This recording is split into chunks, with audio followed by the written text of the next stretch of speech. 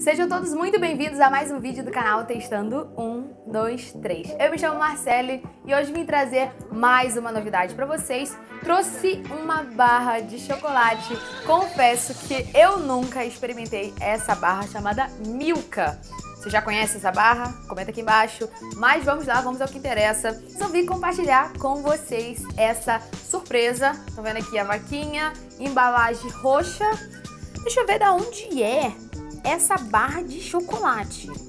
Fabricado na Alemanha por Mondelez. Hum, só que importado, né, para o Brasil lá em São Paulo, Sorocaba.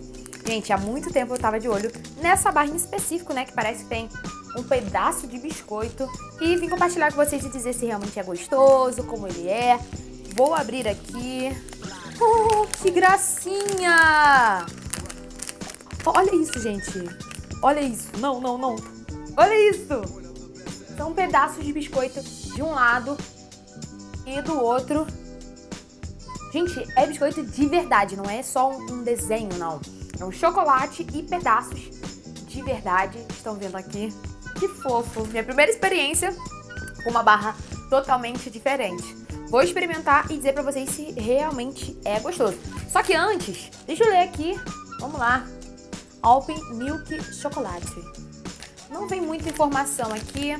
Deixa eu ver se atrás tem alguma informação. Chocolate ao leite dos Alpes com biscoito. Somente isso. Vou experimentar, quebrar um pedaço. Na semana passada eu havia mostrado chocolate, essa semana novamente, né? Daqui a pouco tá virando uma Ana Maria Braga fazendo receitas, mostrando comidas. Meu Deus do céu. Vamos lá, comer primeiro esse pedacinho aqui. Vamos lá, testando. Um, dois, três. Ó.